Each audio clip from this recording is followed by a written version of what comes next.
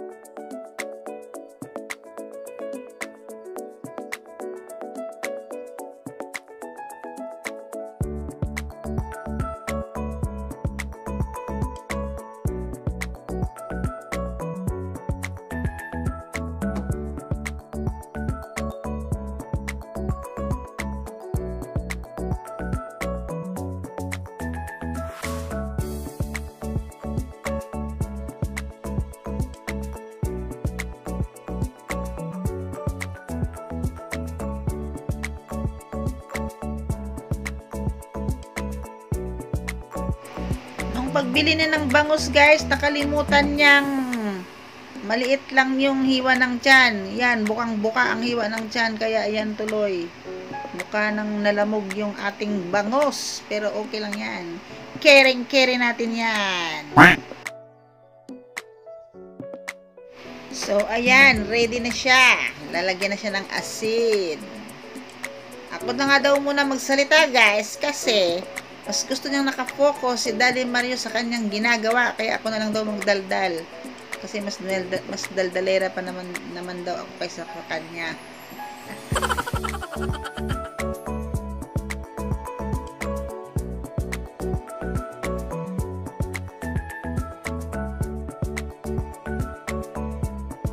So ngayon, gagawa na naman tayo ng ating palaman o pampalasa ng ating bangus ingredients.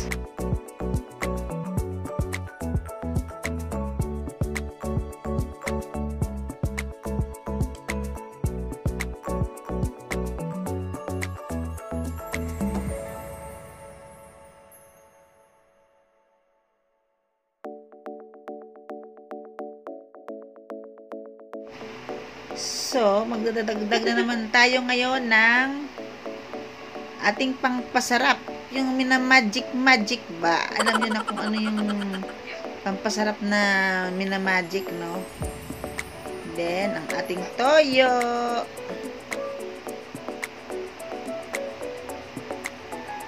Oyster sauce.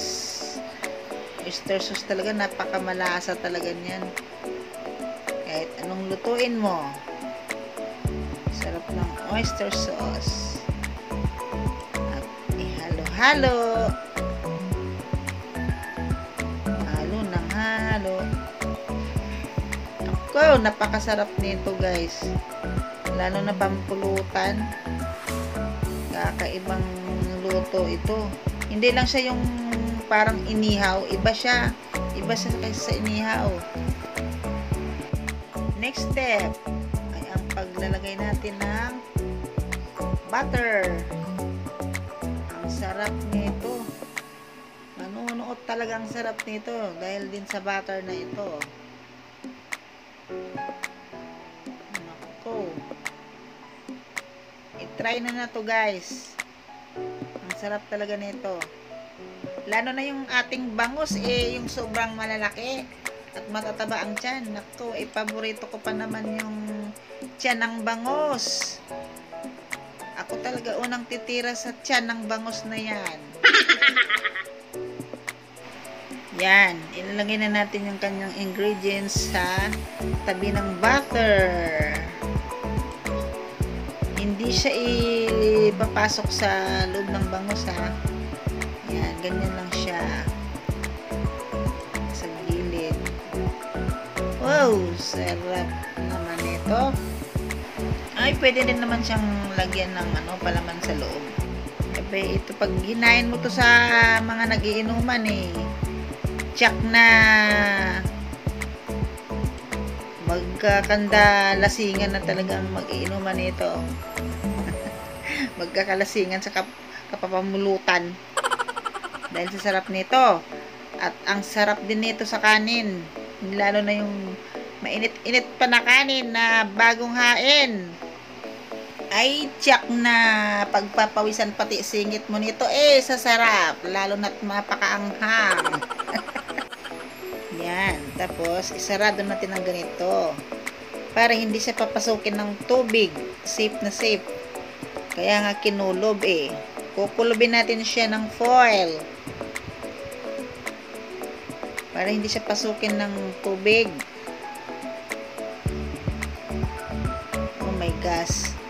Camera mo, daddy, ngiwi. Pero carry lang yan, guys. Carry natin yan. Masarap ito sa Tando ay iced tea. Baka ni Mel. Joke, joke, joke! Yan. Yan, yan, yan. Masarap yan. Ganon din guys sa isa, sa buntot. Ganon din ang ating gagawin. Ay nako, siguradong butas na naman yung ating kaldero nito mamaya.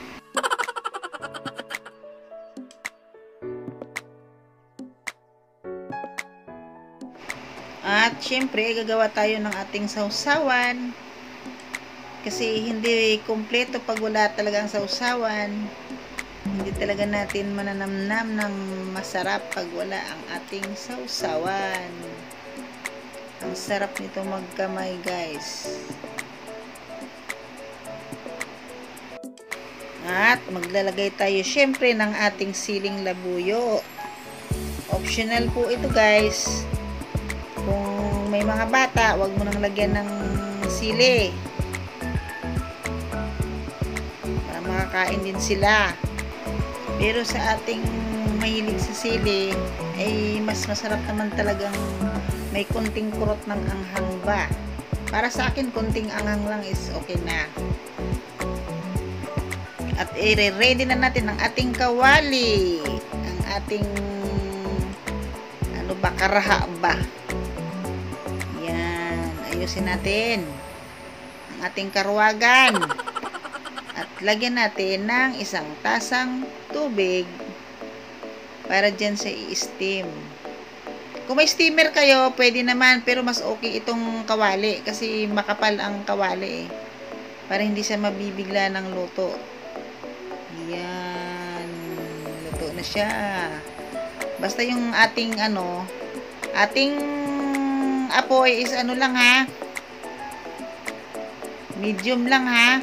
Huwag mo masyadong malakas kasi baka mabigla ng pagkaluto eh maubusan ng tubig tapos hilaw pa yung ating bangus. Yung katamtaman lang. Yan. Luto na siya. Kita mo yung kawali oh. Wala lang ano tubig. Yan. It's time to operate.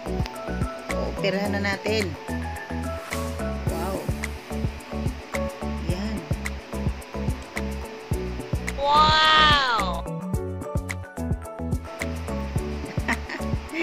Grabe si daddy mag-open na. Parang may naalala ko yun di ah. wow! Sarap naman. Ayan na, bumubukadkad na ang taba ng bangos. Matikman mo nga de.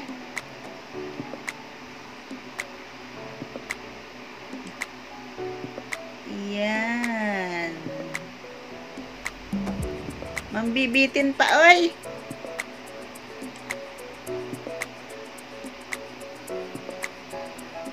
Hop, yaman ni popcorn.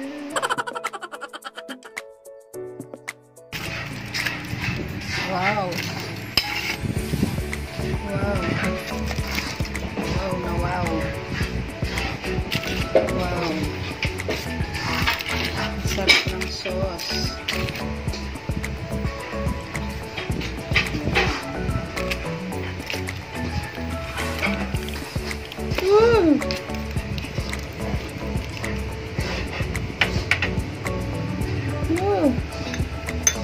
Sorry guys, malikot ang camera. Hindi na makapag-intay.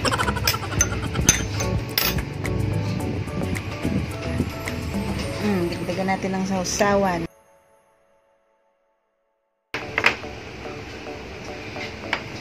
Sorry guys, magkakamay muna ako.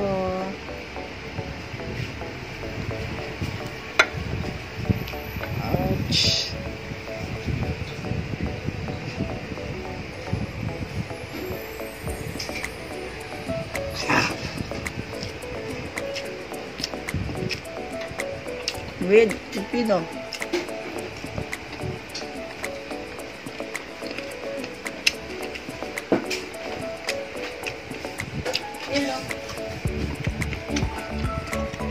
Nahiya ako, nahiya. Galit-galit muna tayo, guys.